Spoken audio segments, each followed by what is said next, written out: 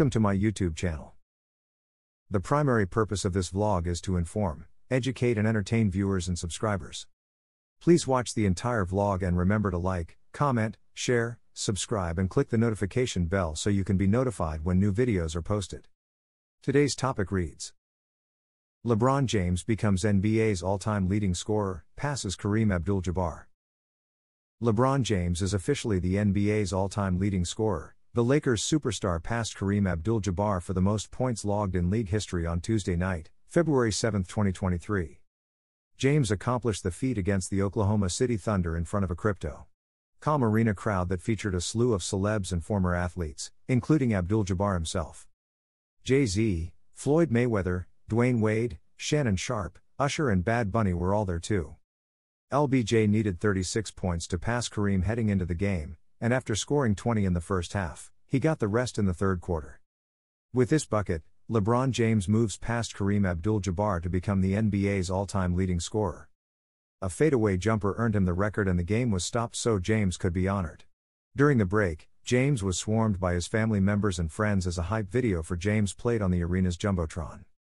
Commissioner Adam Silver also spoke at center court following the record breaking basket, telling LeBron, You are the NBA's all time scoring leader. Congratulations. Abdul Jabbar then passed a basketball to the future Hall of Famer, and gave him a hug. James wiped away tears, before he took the mic and thanked the crowd in attendance. He finished his thank you speech by saying, F man. The record is a monumental one after Kareem set it in 1984, many believed it would never be touched again.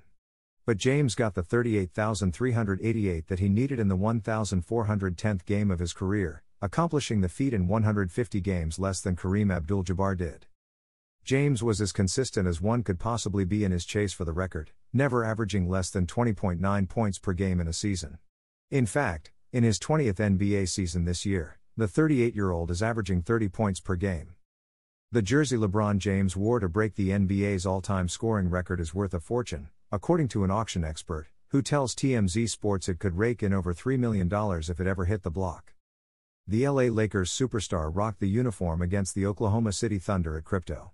Calm Arena on Tuesday night, getting the 36 points he needed in it to pass Kareem Abdul Jabbar's mark of 38,387. Chris Ivy, the director of sports auctions at Heritage Auctions, tells us the James used threads could easily fetch seven figures on the block, especially after his Game 7 jersey from the 2013 NBA Finals sold for $3 million, 700,000, in a Sotheby's auction a few weeks ago.